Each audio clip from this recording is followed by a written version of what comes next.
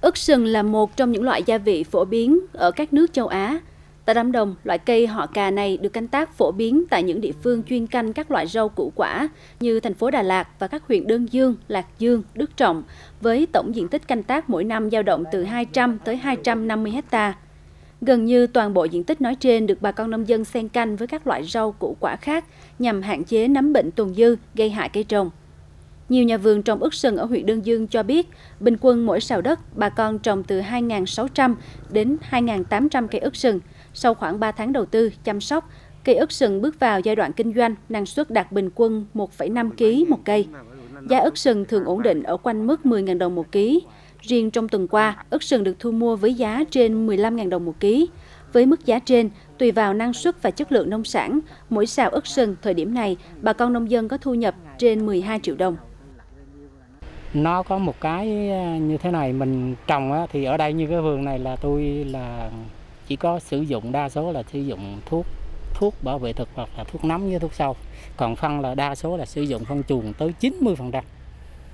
Còn lại cái phân hóa học sử dụng lúc con thôi. Còn cái lúc này là lại hạn chế sử dụng là và xài cái phân à, phân hạt phân hữu cơ organic đó còn cỏ riêng cỏ là làm bằng tay á làm bằng tay chứ không sử dụng thuốc cỏ. Cho nên giữ được cái độ bền của đất, cho hạn chế được cái cái đất mình nó thối hóa.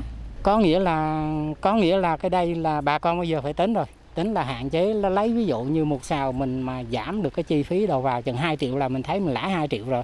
Là nó hạn chế là cái thứ nhất là mình sử dụng, phải nói chung là cái phân chuồng.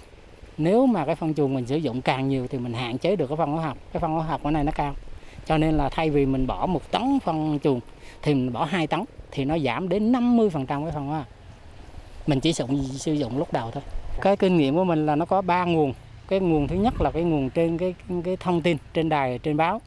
Cái thứ hai là trực tiếp từ các cái công ty thuốc. Và cái thứ ba nữa là được cái sự chuyển giao khoa học kỹ thuật của các các cơ quan của nhà nước. Giống như phòng nông nghiệp trung tâm nông nghiệp hoặc khuyến nông thì đó là ba cái nguồn chính là nông dân tiếp tiếp cận để ổn định thu nhập từ cây ớt sừng nói riêng, các loại rau củ quả nói chung, bên cạnh việc khuyến khích nông dân tăng cường ứng dụng công nghệ cao vào sản xuất nhằm ổn định năng suất chất lượng nông sản, tỉnh Lâm Đồng còn khuyến khích nông dân tham gia các hợp tác xã, tổ hợp tác. Hiện toàn tỉnh có 342 hợp tác xã nông nghiệp, 3 liên hiệp hợp tác xã và 300 tổ hợp tác.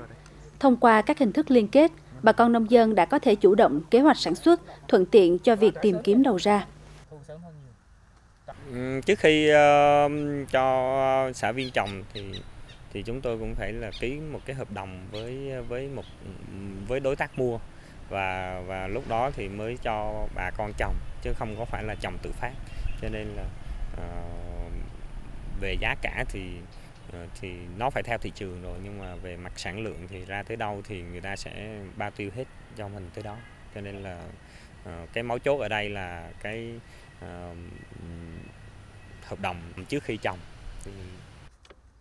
Theo nhận định của nhiều đầu mối tiêu thụ nông sản, những tháng cuối năm, giá ớt sừng có thể tiếp tục ổn định, thậm chí là tăng.